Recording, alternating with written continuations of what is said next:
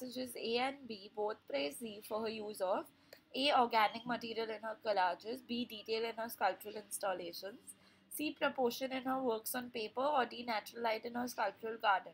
Right off the bat, we can eliminate C and D because uh, only passage B talks about her works on paper, not passage A, and only passage A sort of mentions her sculpture gardens. Uh, passage B doesn't really mention it.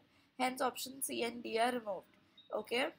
Now, as we read the second paragraph of passage A, um, she arranges everyday objects in sculptural installations of astonishing intricacy. By intricacy over here, they mean details. Uh, and as we see in passage B, throwaway objects that she fashions with G-Wells structural ingenuity. The, the term ingenuity basically means the ability of being original, creative, and inventive.